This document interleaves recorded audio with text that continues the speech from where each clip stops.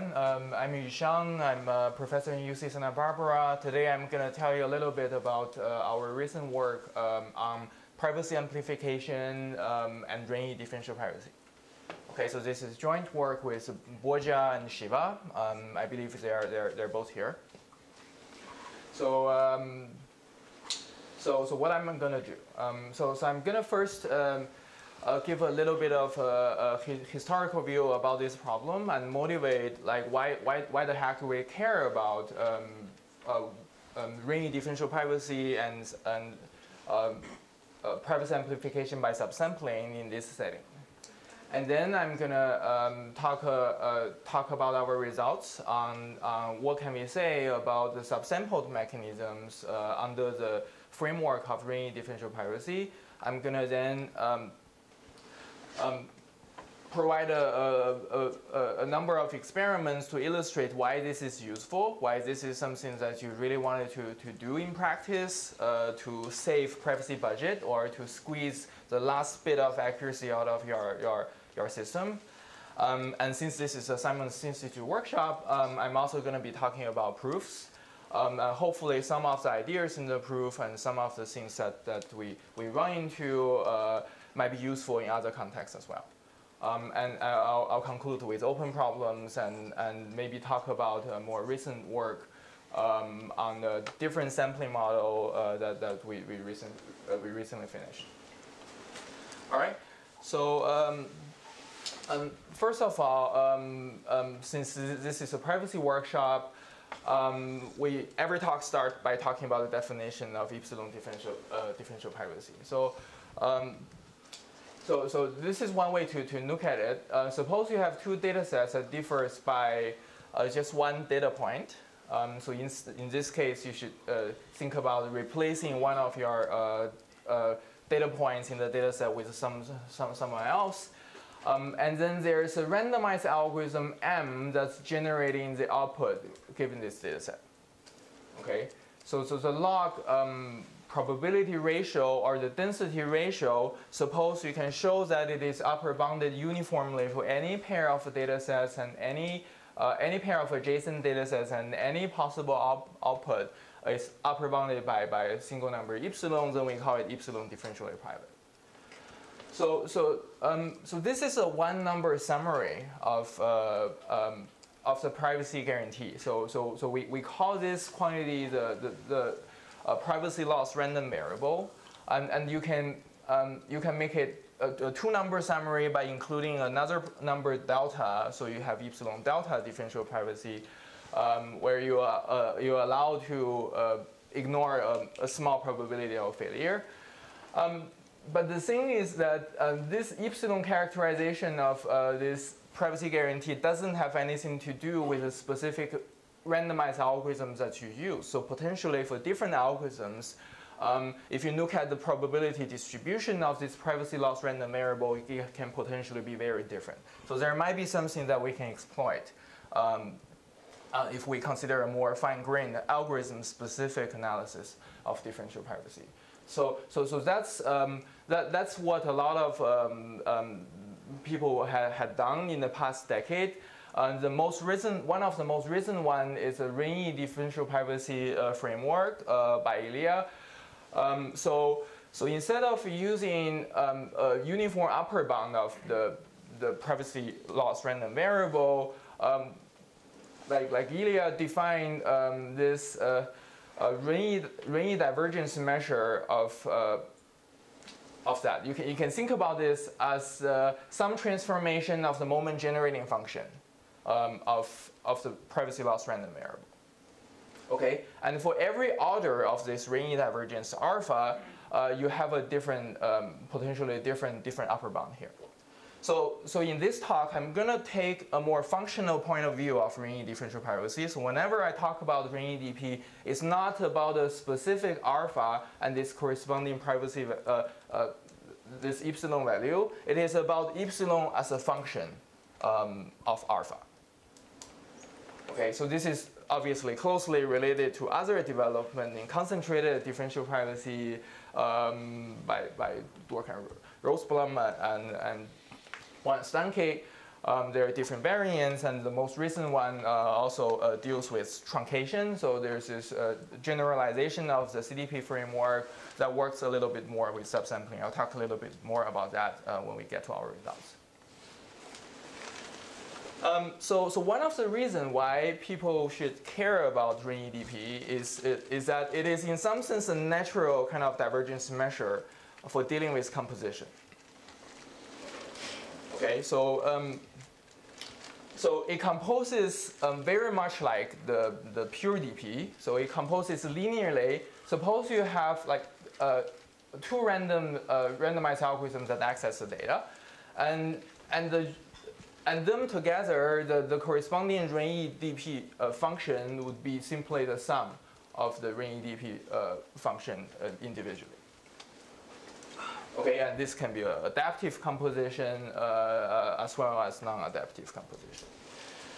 Um, another uh, use case of Renyi DP is that it's closely related to epsilon delta differential privacy uh, in the sense that suppose you just compose this for many, many rounds, and, and after the fact, uh, you decided that you want to um, um, you're interested to have a epsilon delta interpretation of the, the, the, privacy guarantee that's given to you by, by this sequence of randomized algorithm.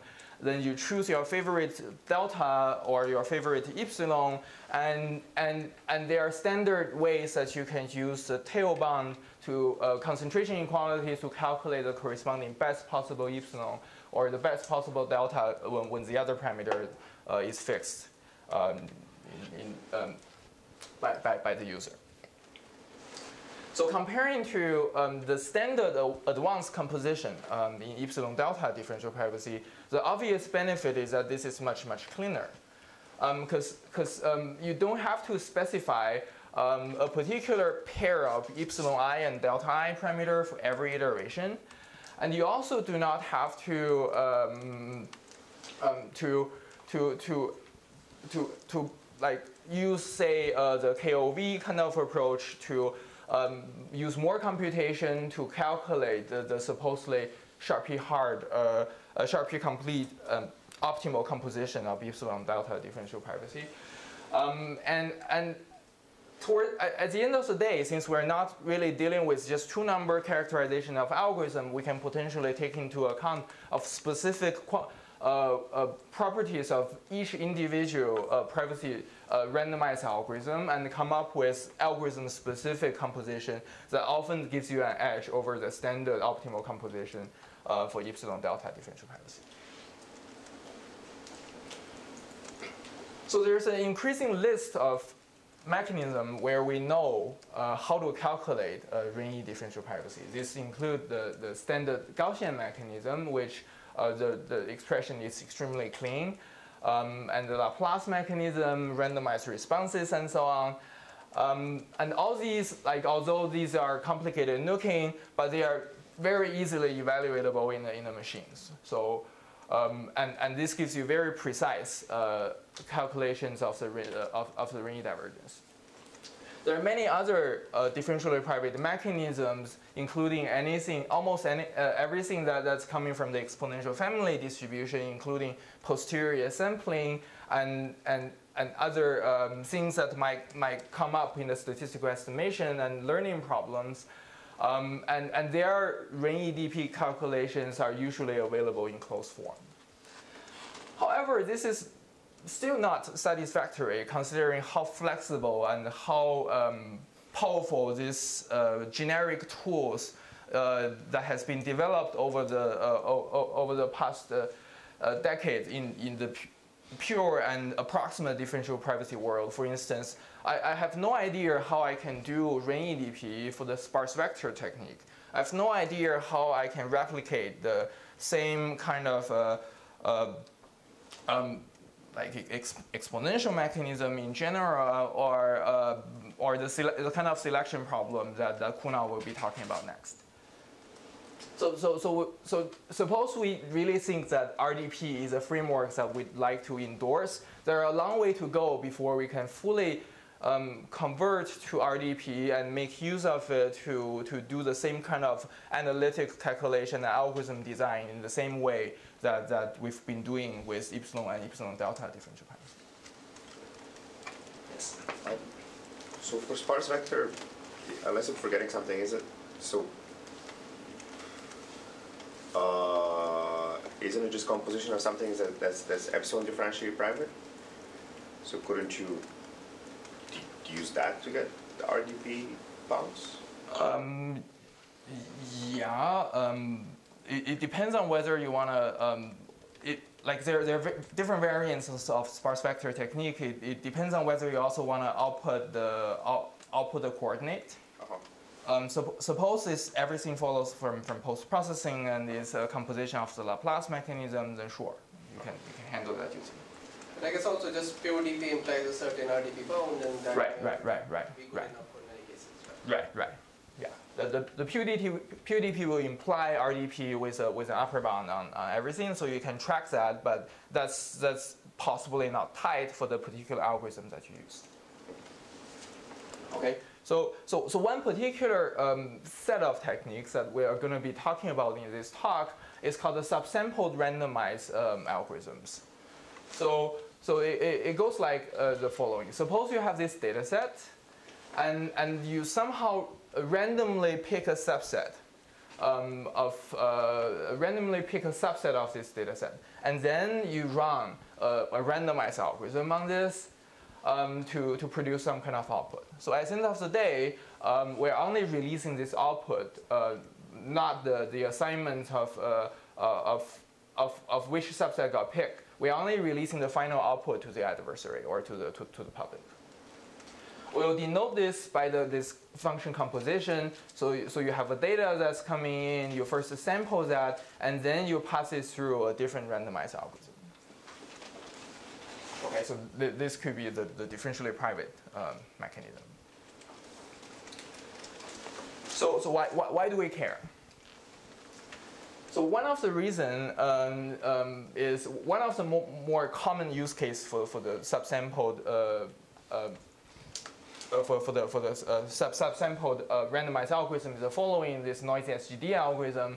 So, so for those who are familiar with machine learning, so this is simply doing gradient, stochastic gradient descent by, by first choose a random mini batch, uh, calculate the corresponding stochastic gradient, uh, clip the uh, individual stochastic gradient corresponding to every individual if necessary, um, add uh, the add, calibrate the noise according to that sensitivity so that you get um, um, um differential privacy for every iteration.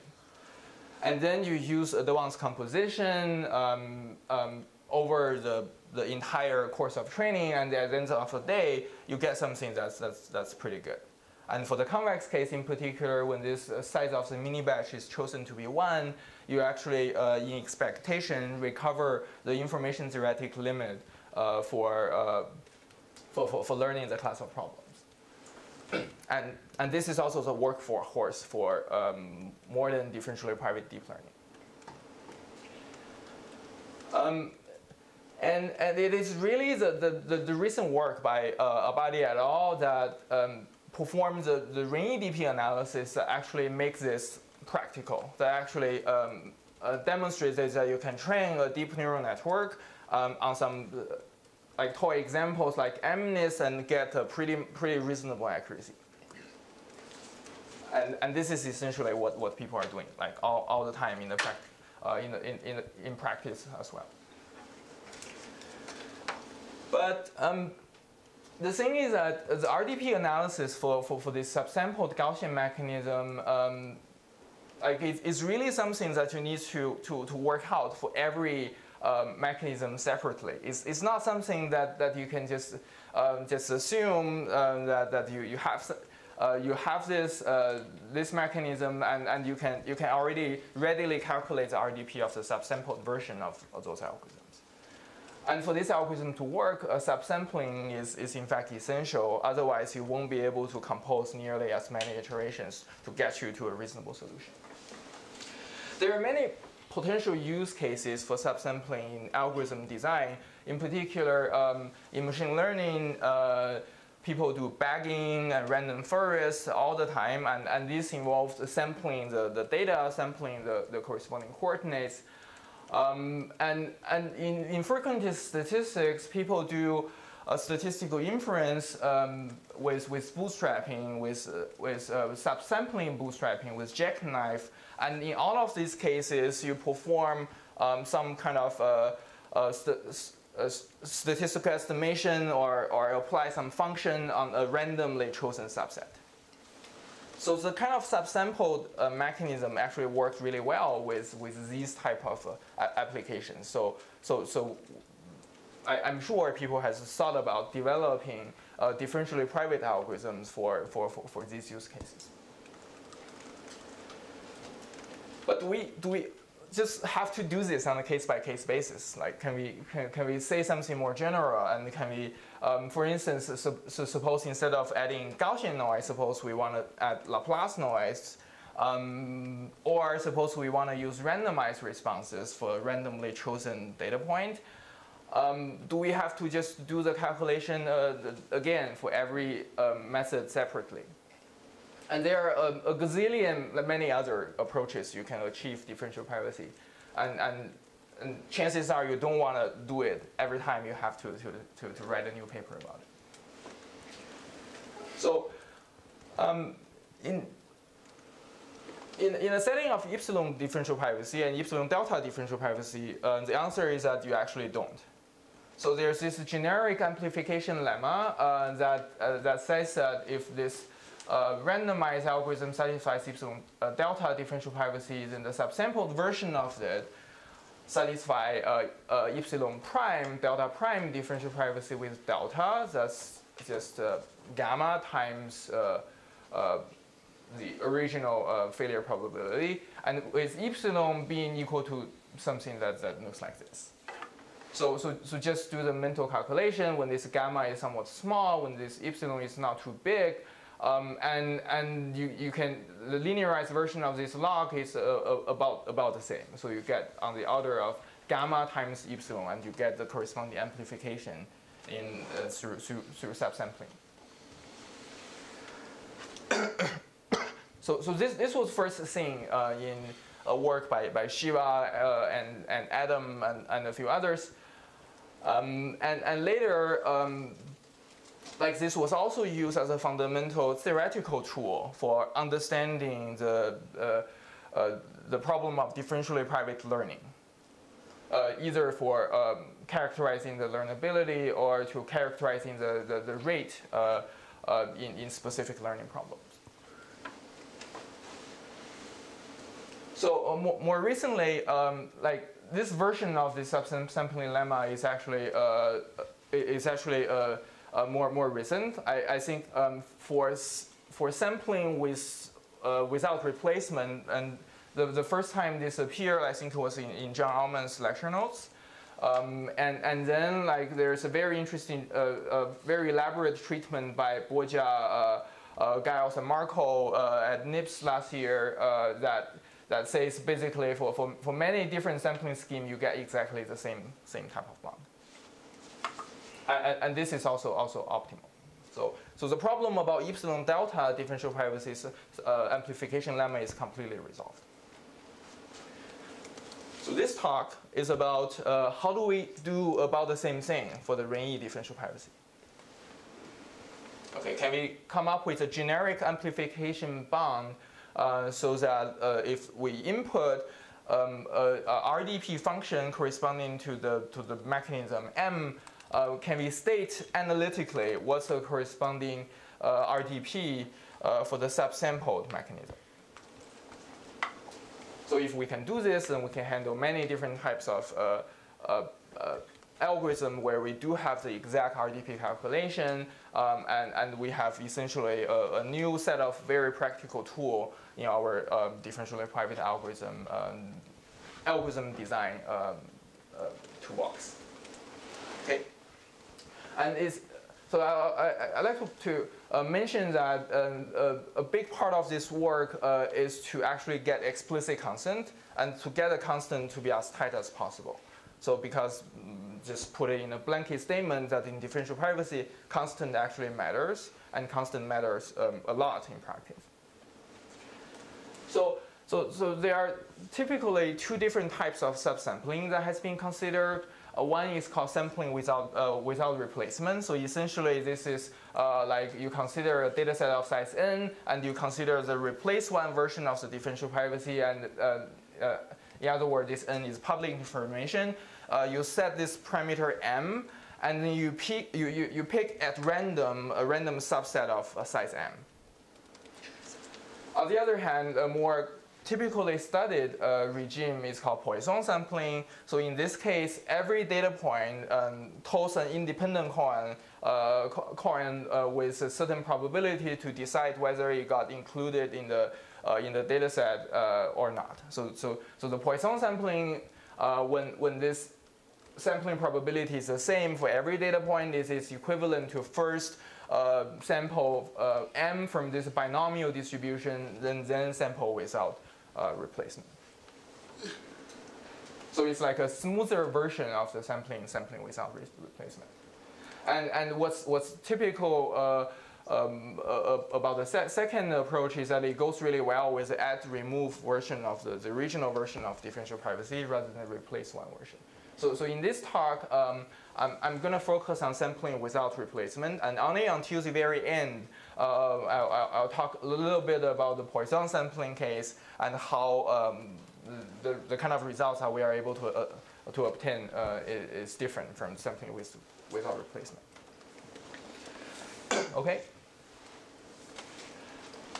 So, um, so first, let, let, let me um, talk, talk a little bit about uh, uh, intuition, about how, how should we make sense of this problem and, and, and, and why this problem is, is challenging. It's not ready, readily so, uh, solvable using uh, standard uh, techniques. Okay, so, so, so recall that uh, we have a, a two-step procedure. We first subsample, finding a random subset, and then say, suppose we, we use Gaussian noise adding uh, then we add noise to the corresponding statistics calculated uh, using just a subset. So, so let, let's pick a particular x, x prime, okay? Um, let's subsample that and find a particular x prime, and then condition on that chosen subset, uh, this is where this fx prime is. And then you add noise, this, this is essentially sampling from um, this, this Gaussian distribution. Suppose you get a different um, a sub subsample, then you get a, um, you, you get a different mean of, of this uh, of this of the subsequent noise adding, and and and this is where where you are. And, and since this is subsampling, you have a combina combinatorial many um, uh, centers that, that you add noise from. So at the end of the day, you have many, many such uh, uh, Gaussian. So at the end of the day, this is essentially a mixture of Gaussian distribution. Okay.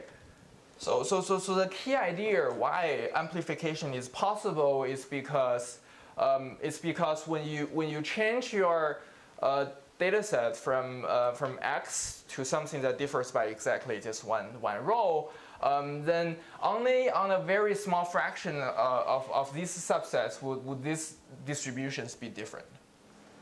So in, in particular, um, maybe like uh, in this subset, this additional perturbation got included in the subsample. In all the others, they are not. Uh, so then, then only a, a, small number of such mixture components actually got, uh, got changed. So because of that, um, there are things that we can hope to do, and there are, um, the, there are amplification effects that we can hope to, to, to achieve.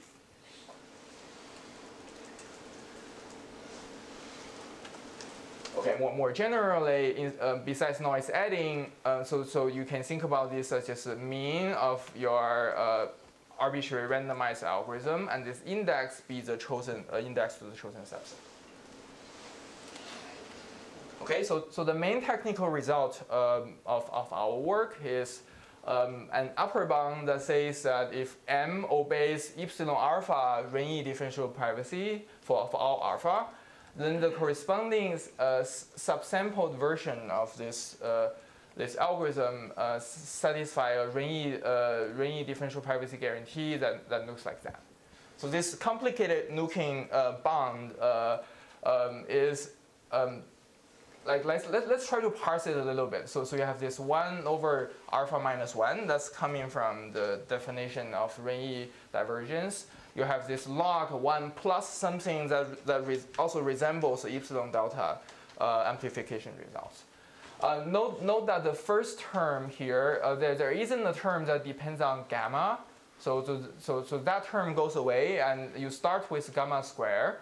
Um, and, and you start with a second order uh, uh, RDP, um, which is uh, uh, about, about the same as isomorphic to the chi-square distribution. And, and you have something that suppose gamma is small and suppose this is uh, not, not too crazy, um, uh, you have something that's, that's uh, uh more or less bounded. You have a, a, residual term that's on the order of O uh, gamma, gamma cube. Uh, gamma was the sampling fraction? Yeah, gamma, um, gamma is m over n, so it's a, a sampling fraction. Um, there, there's, a, there's a lower bound um, that we can, we can construct that that essentially says that up to an additive factor and up to uh, uh, up to uh, a multiplicative factor that, that uh, that's on the order of 1 over 1 minus gamma to the power of j, um, like these two bounds actually match, uh, they match uh, term by term up, to, up to a constant. But, but that's, that's not really what we want. So, so let's not try to stare at this bond for too long to try to make sense of that. Let's, let's just plot it. Let's just, uh, for, for examples of, uh, uh, for examples of M, let's just plot that and see how far away this, this upper and lower bounds are. Okay? So, so suppose we plot the subsampled uh, Gaussian mechanisms, the uh, uh, RDP function on here. Um, so this blue line um, describes the, the, upper bound. So, so it's a weird looking shape. So it starts with a, a, a slow, a slow increase, uh, almost like a linear increase. Um, so by the way, this is a log-log plot. On the horizontal axis, I have the RDP order alpha. On the vertical axis, um, we, we, we, have the, uh, the RenyiDP's epsilon uh, value corresponding to that alpha. And, and we can see that um, in this case, upper and lower bounds in this regime, they differ uh, by, by a fixed constant. And, and on the other regime, so after this uh, point of phase transition, uh, it becomes much bigger, and then the two bounds are essentially uh, identical. Okay, uh, just ignore the Gaussian, uh, Gaussian approximation uh, for, for now. Um, and, and suppose we do this for the, for the Laplace um, distribution, La, La, La, Laplace mechanism, then we get something that's similar um, well, well, let's, let, let, us take a closer look first. So what, what does this first chunk mean? So this is a chunk when the, when the leading term, this 1 plus, and this first term that depends on gamma square is actually uh, the largest among the, the, the, everything in the summation. So you end up getting this, uh, uh, this term that's linear, that's almost linear in alpha. Um, with a, a, little bit of log 1 plus epsilon uh, transformation. Um, and then there's a uh, there, there's another uh, regime where like you don't actually get amplification at all. So you end up getting just a, the standard uh, epsilon of alpha from one single call of this Gaussian mechanism. So so so where um, does this phase transition happen? So from our bound, we can just read off that it happens roughly at gamma times alpha star. It happens at uh, alpha star when this equation is approximately true. Okay, so, so for the for the Laplace mechanism um, on, on, on the right hand side, uh, so first of all, we know that from the uh, epsilon dp's amplification result, uh, we know that it's gonna gonna flatten out eventually. Okay, so so so this is a corresponding amplified epsilon differential privacy uh, um, that that you eventually reach.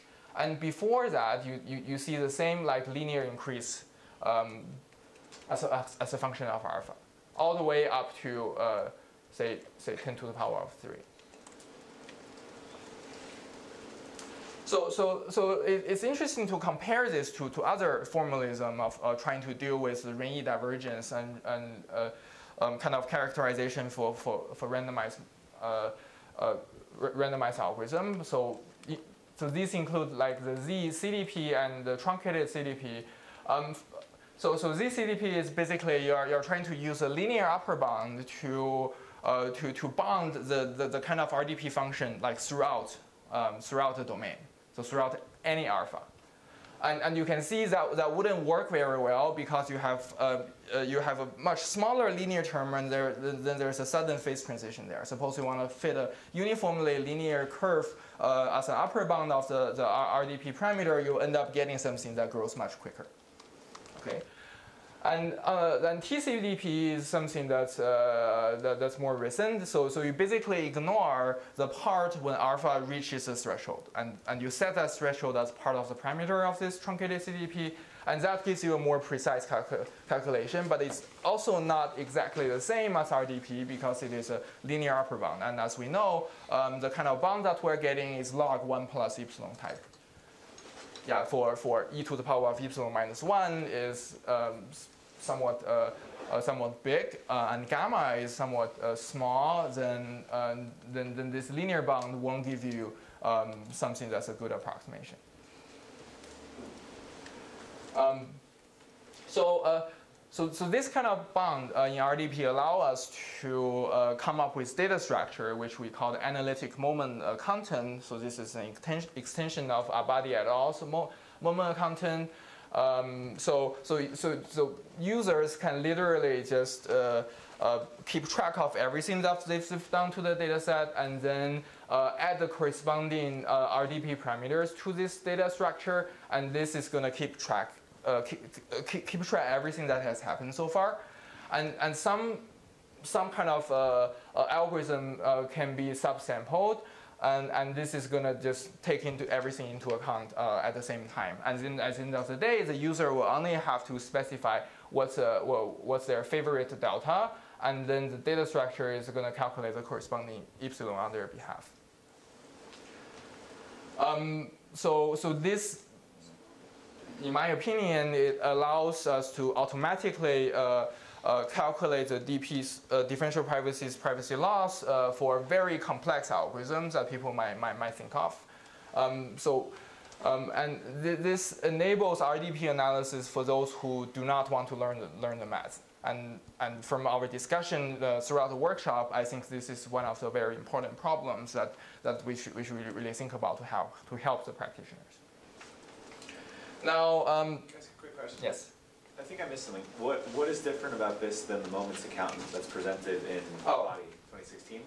Okay, so so so so the main difference is uh, have, have to do with how, how do we deal with subsampling. First of all, with this we can deal with subsampled Laplace, we can deal with subsampled other mechanisms, uh, but but in uh, in the Abadi et al., um, I guess they can only deal with subsampled Gaussian. And, and secondly, uh, we keep track of everything at, in, uh, in analytical form. So you implement a lambda function, you keep track of that lambda function, you check whether this lambda function has appeared before in a hash table, so you don't have to, to, to save that for every, uh, every time you compose. Um, so, so, so this is just a little bit more, more, more general. Yeah, but the idea um, comes directly from Abadi et al. Okay. So, so suppose we just, uh, just plug this into the, uh, uh, the, the, uh, setting when we need to compose over many, many subsample uh, mechanisms. Uh, here are the kind of results that we're getting. So, so, we, so, so on both these two plots on the left, I'm doing composing over many, many subsample Gaussian. On the, on the right, I'm composing over many, many subsample Gaussian with just a much smaller noise, noise level. So, so I'm comparing with, uh, with two baselines. The, the, the purple line is just a naive composition where you simply add up epsilon and deltas.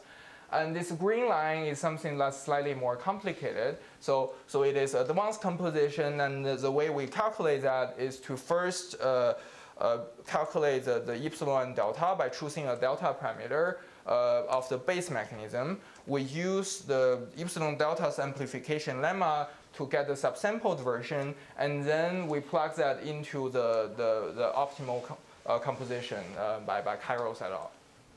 At the end of the day, uh, we also optimize over the initial delta that we choose so that we can get the smallest possible uh, uh, epsilon for the, for the desired uh, delta, which is equal to uh, 10 to the power of minus 8. Okay, so, so this is really like the, the, the best that we can do with using just epsilon delta differential privacy.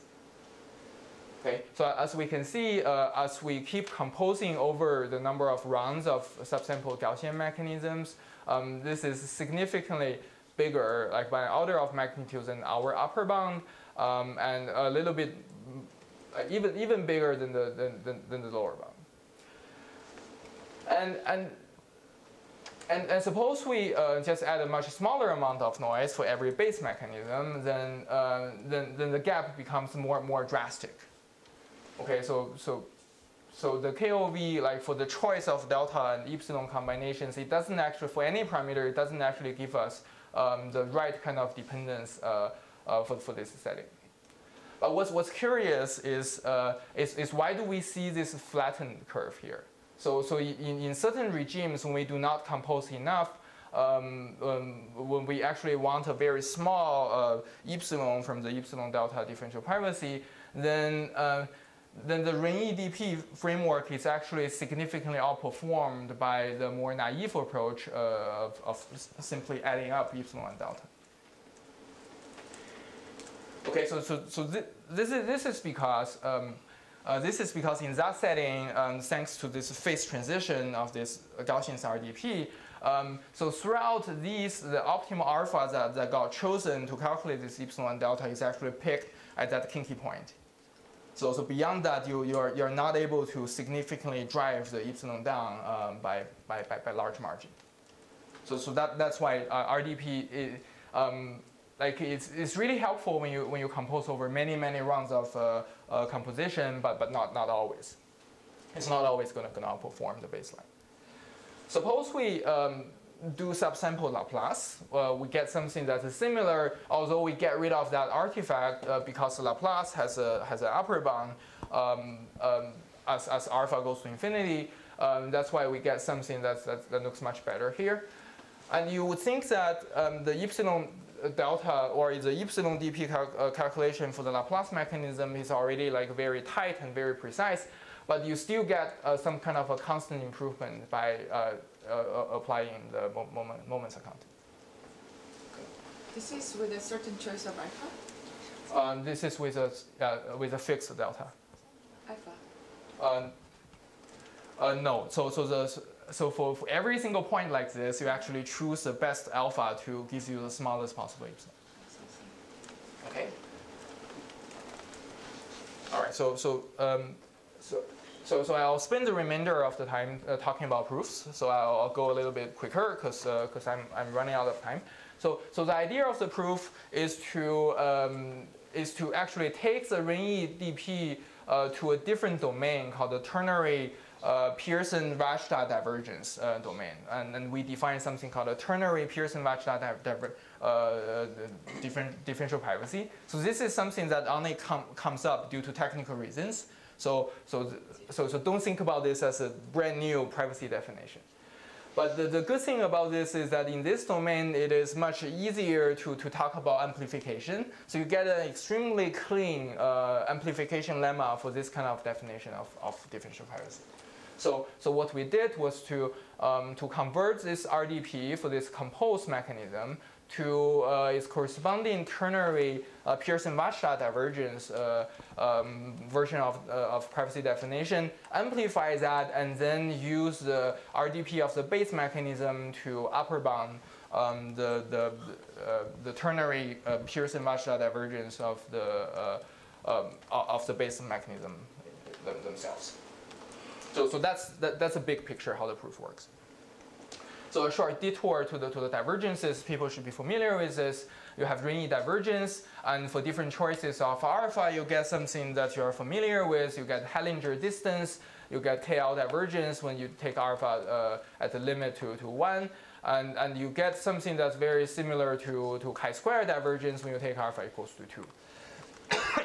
And, and, and in general, when you have a convex function f, you can define a f divergence like, uh, like that.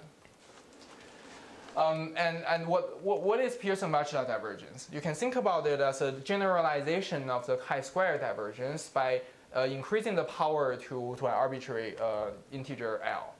Um, and, and since this is not always a divergence, because when L is uh, uh, when, when L is, is an odd number, so this is not really a convex function. So, so people also define the absolute version of the Pearson-Vajda divergence. Okay, so that's, that's what, what we're going to be using.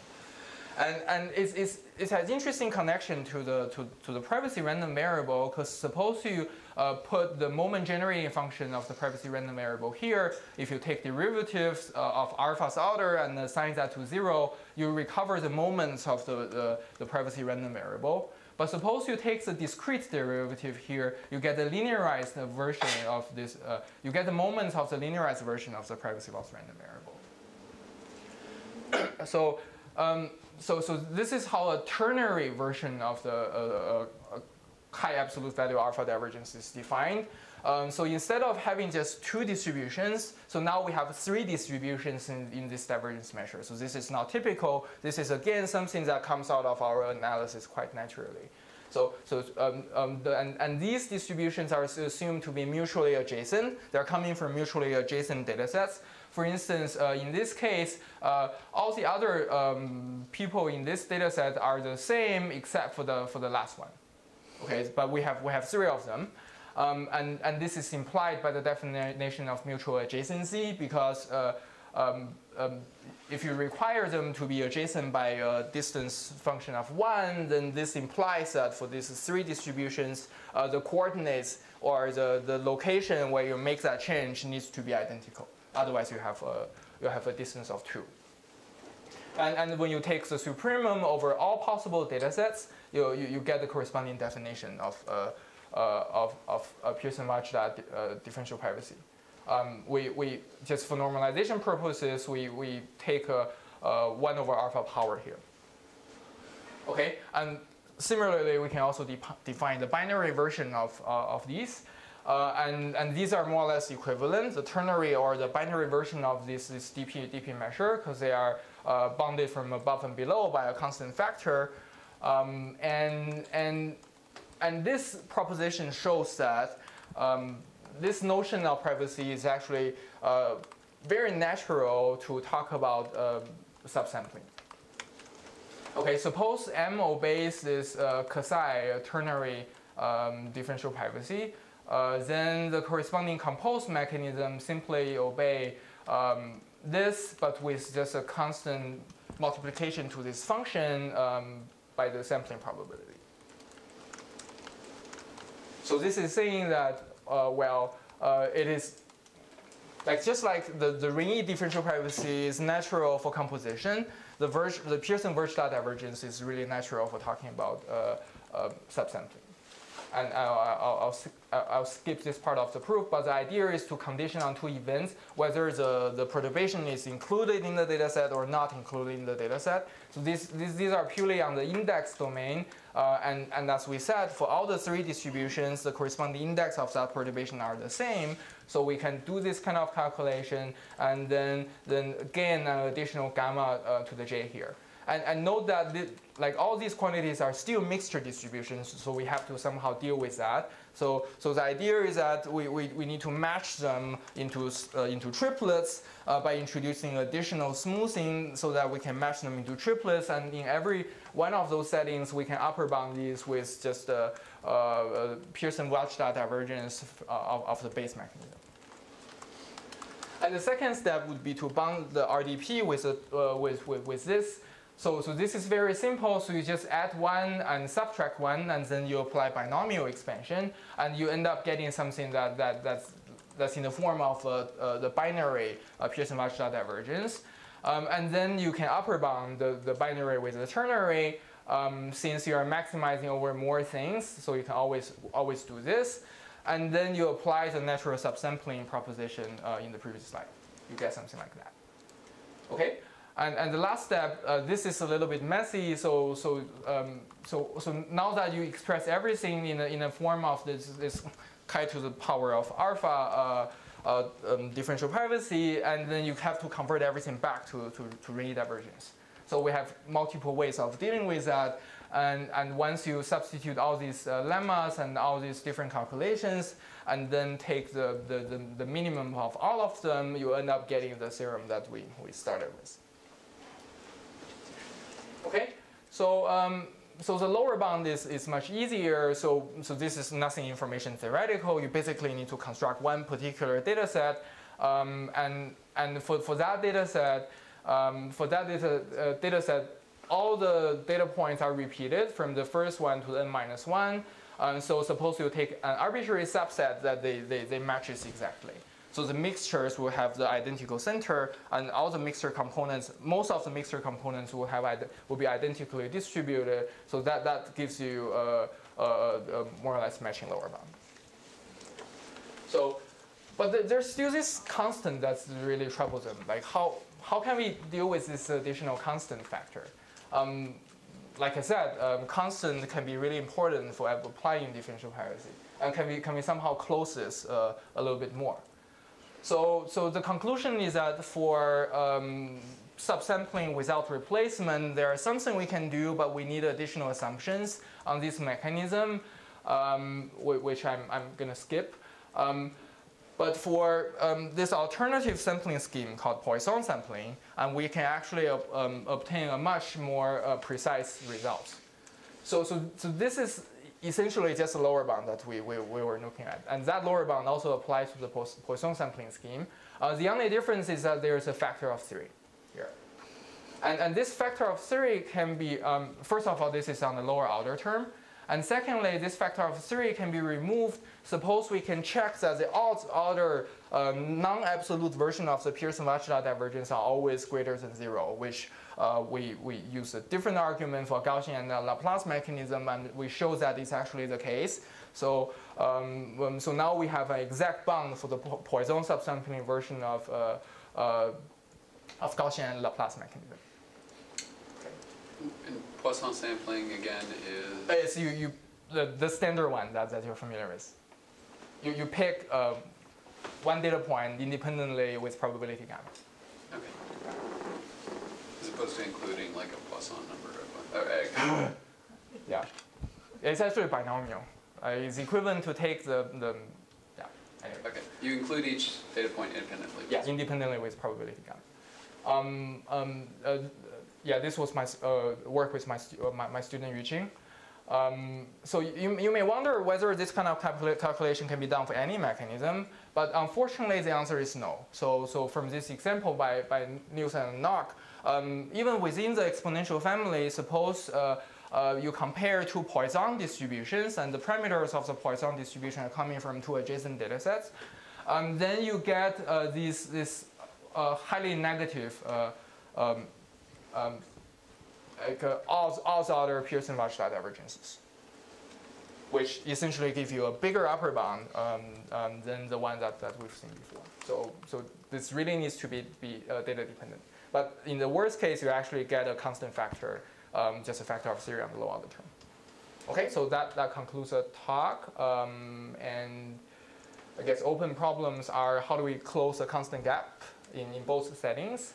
And, and how do we exploit the randomness from the data? So if, if, you, if you think about it, um, like this kind of thing are very similar to, to um, kernel density estimation. So chances are, suppose there are in inherent randomness from the data, and with this additional uh, smoothing factor from the additional added noise that we're having, uh, then we can hope to obtain like more privacy um, when the data is highly variant. All right? Thank you very much.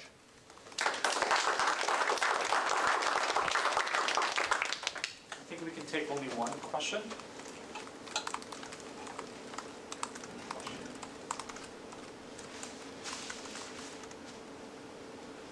Uh, do you have an example of a mechanism where the generic uh, epsilon differentially private conversion to RDP has a large constant factor overhead over some specific uh, analysis?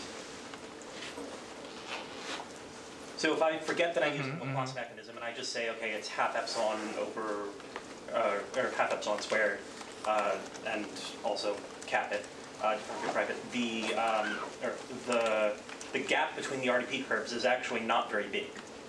Yeah, so so um, so I guess the subsample Laplace mechanism is an example of that. Um, but but suppose you want pure DPs, and you're not getting anything. You're not not getting anything more. So so the kind of results that you get an advantage over the course of composition is only for for epsilon delta. So when alpha goes to infinity, the, the, the calculation of uh, pure DP is tight, and the amplification lemma is also tight. Um, so, so this is just a more refined way of dealing with the cases when you actually don't want uh, perfect um, pure, pure differential privacy.